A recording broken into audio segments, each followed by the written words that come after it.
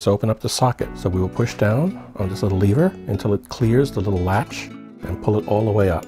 Then we pull the socket open, being very careful not to bend any of these pins. We get the little cover out of the socket. We grab the CPU by its ends. Now we got to be careful here because there's a little gold arrow right here in the corner. And that little gold arrow has to line up with the arrow that's on the socket. The arrow that's on the socket is right on this corner here if you look very carefully. So we have to put it in place by lowering it very gently into the socket.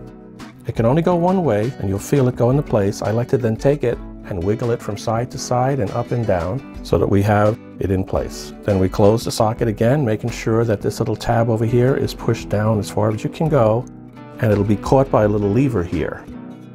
And it'll push it down, make sure it catches that.